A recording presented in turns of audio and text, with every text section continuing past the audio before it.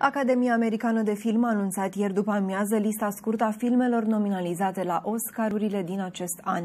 Sunt nouă categorii pe listă, printre care cel mai bun documentar, cel mai bun scurtmetraj de animație sau cea mai bună coloană sonoră.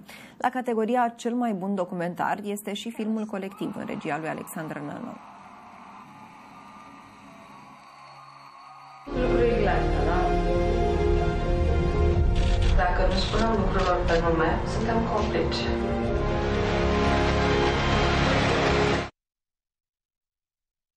238 de filme au fost eligibile pentru această categorie, însă doar 15 filme au intrat în cursa pentru statueta de aur.